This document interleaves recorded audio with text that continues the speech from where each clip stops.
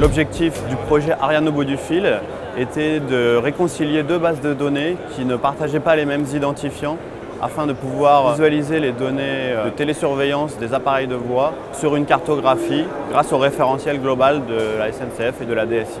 Ce qui était particulièrement intéressant sur ce projet, c'est de travailler dans un écosystème technologique où il y avait plusieurs acteurs, donc les personnes métiers de la SNCF, des data scientists de talent, mais aussi une start-up euh, qui propose cette table tactile euh, qui s'appelle Tangible Display, avec qui nous avons travaillé en étroite collaboration de manière DevOps.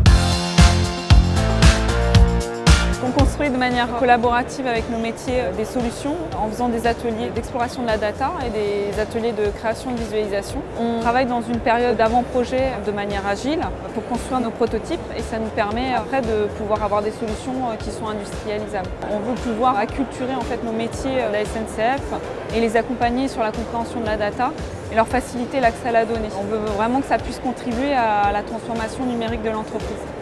Aujourd'hui, on a beaucoup de projets euh, d'innovation où on embarque beaucoup de technologies.